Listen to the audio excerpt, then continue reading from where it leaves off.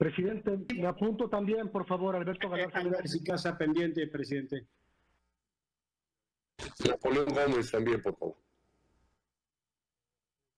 Sonido en el dispositivo de la senadora Alejandra Reynoso. Gracias, presidente, con su permiso. A ver, mi, mi, participación va mucho en el sentido de lo que comentó la senadora Beatriz Paredes. Lo que se está pidiendo es el cumplimiento del reglamento, tanto en las comisiones que deben de dictaminar, y por eso que se pide que haya una más codictaminadora, además de la de estudios legislativos, pero también es el cumplimiento del reglamento en los tiempos. Eh, porque aquí se ha dicho que si lo que se quiere es el, bloquear, el grabar, el retrasar, no, hay tiempos para dictaminar una iniciativa preferente.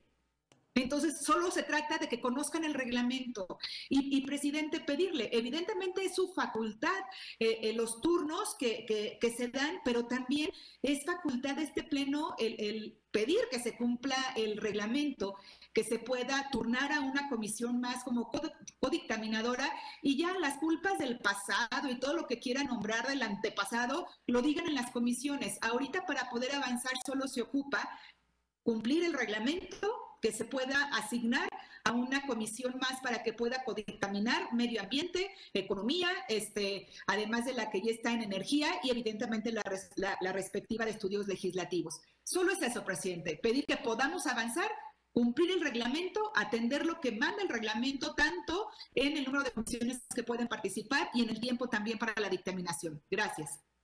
Sonido en el dispositivo del senador.